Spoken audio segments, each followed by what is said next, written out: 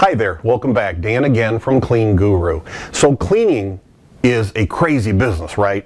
You know, between the cleaning problems and the people problems, it's just by nature a crazy business. Well, maybe, uh, you know, maybe not. Uh, I had the opportunity the other day to talk to, uh, have lunch actually with a, a, nice young man. I say young man, much younger than me. And uh, he owns not one, but several cleaning businesses, and not in one state, but in several states.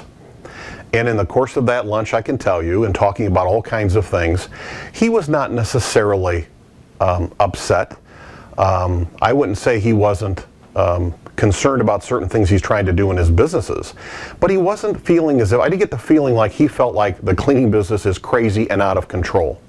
And I only mention that because my senses and poking around a little bit with him, he mentioned that he was very big on two things, which of course, right?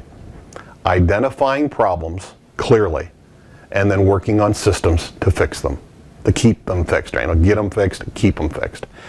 Of course, we hear this all the time, but it was very, you know, it seemed exactly right. So when we hear this idea of, you know, cleaning being a crazy business, only crazy maybe if we let it stay that way. I don't think that the cleaning business um, has anything particularly unique compared to many other businesses. Many companies are very dependent on people. You know, there's nothing more service oriented and people oriented than cleaning.